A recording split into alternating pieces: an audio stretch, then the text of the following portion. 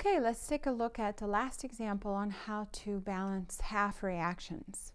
We have copper solid plus silver plus 1 gives me copper 2 plus plus silver solid. Remember, whatever appears in its elemental form, the way it appears in the periodic table has a charge of 0. So copper here has a charge of 0, and so does silver on this side. Let's try to balance copper first. We have copper going from 0 to copper 2 plus. I'm not going to bother with the aqueous, just takes too much time. If we take a look, copper is going from a 0 to 2 plus, which means it's becoming more positive.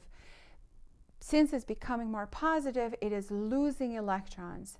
And because it is losing electrons, it's losing how many?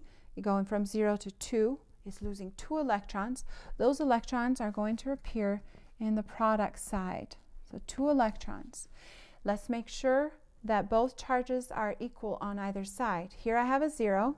On the other side, I have a 2 plus plus 2 minus gives me a zero charge. That means that I have written the electrons on the correct side. If I had the electrons over here, I would have 2 minus plus a 0, a minus 2 on this side, and a plus 2 on this side.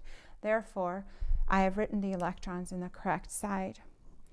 Let's take a look at the silver. Silver is now going from a plus 1 to a 0.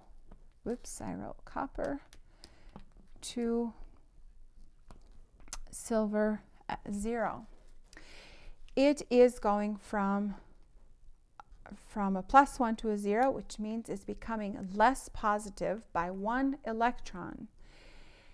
To make both charges equal on either side, I can write that electron on this side, which means I have 0 over here, plus 1 minus 1 gives me 0 on the other side, and my charges are balanced. I can then add my half reactions to get a total reaction and whatever appears the same on both sides of those arrows, I can cancel. The only thing that will appear the same or similar will be the electrons. However, here I have two electrons and here I only have one electron. I need to make this one the same as the other one up here, the 2. Therefore, I need to multiply this whole reaction by 2. And I multiply each so I put a 2 in front of everything, or I multiply by 2.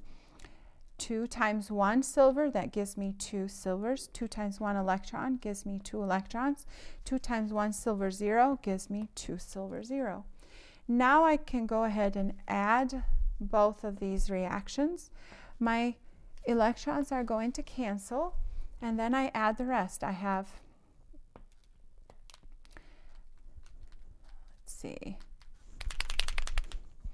I have copper 0, so copper solid, plus 2 silver plus 1s,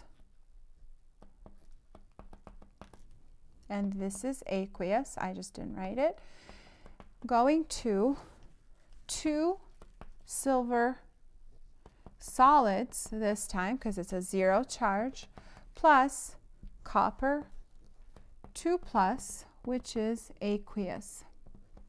And now I go back and I make sure that my charge is balanced. I have 2 plus, 2 times a plus 1, a 2 plus, because that's a 0.